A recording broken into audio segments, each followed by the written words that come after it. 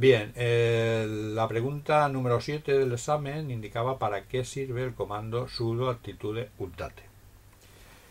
Bien, primero sudo es para poder ejecutar el comando con privilegios de administración, el comando en sí es el actitude y el parámetro que se le manda es update. Bien, este comando se utiliza para refrescar la información de los repositorios.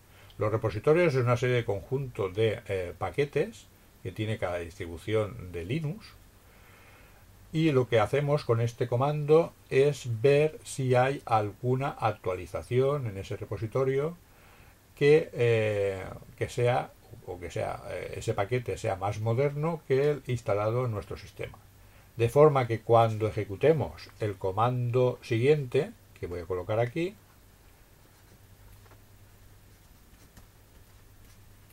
sudo actitude safe upgrade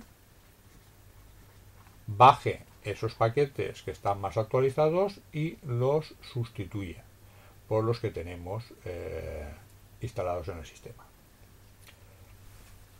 Update no actualiza, sino simplemente lo que hace es ver si en los repositorios se encuentran paquetes más modernos o con una versión superior a la que tenemos instalada en nuestro sistema.